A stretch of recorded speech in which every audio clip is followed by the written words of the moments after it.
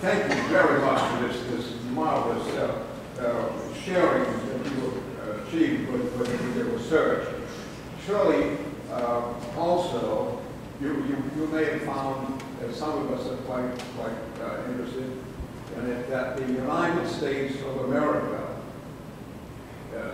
had its first day following the New Hampshire uh, ratification. There's a little church in Concord, New Hampshire. But I, what my question is, uh, why were there nine people required, nine states required, Ah, rather yes. than a simple majority? That, that, Thank you for that. I realized toward the end of the speech, oh, what he's asked is why nine states had to ratify before the Constitution went into effect. This was actually one of the other controversial decisions of the Federal Convention. Uh, they, it, it's in the body of the Constitution itself that the document would go into effect after nine states had ratified. You needed unanimous consent uh, for amendments to the Articles of Confederation. And uh, of course, it would only go into effect over those nine states. Uh, but, but, well, I think nine, nine it seemed to, what is it, three quarters, more or less, not quite.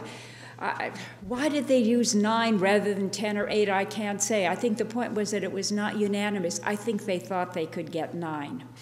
Uh, but it was, it was touch and go. But I ask you, even after the, after, you're quite correct that New Hampshire was the ninth.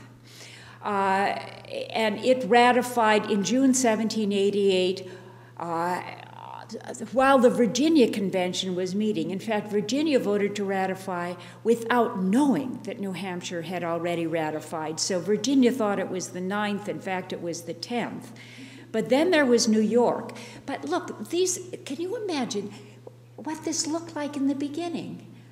Uh, you're right to ask why nine states. Supposing it's 1787, September 1787, and you've just seen this rather peculiar number thrown out. Were the United States to become the disunited states? If four states did not ratify, Eh, eh, then that we would be a country of nine states and what four other independent nations scattered along the coast the atlantic coast? And i ask you this is not an impossible uh, it was not an, an impossible you know situation. If rhode island didn't ratify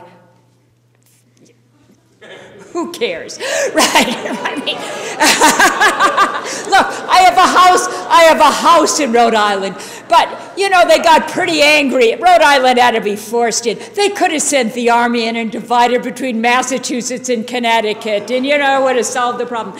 But if new york didn't ratify if virginia didn't ratify if north carolina didn't ratify uh, Okay, there you've got four states. And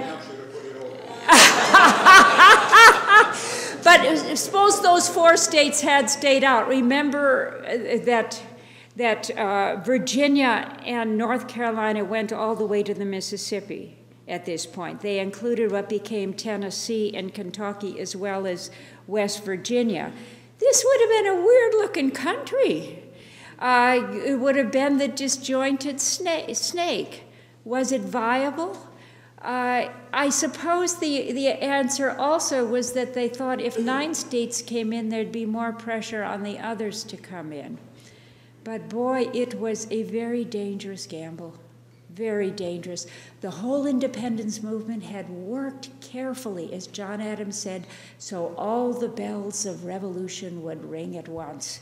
We'd won the revolution with our arms linked. Why were we giving up? I mean, it was very controversial. Scott. In what state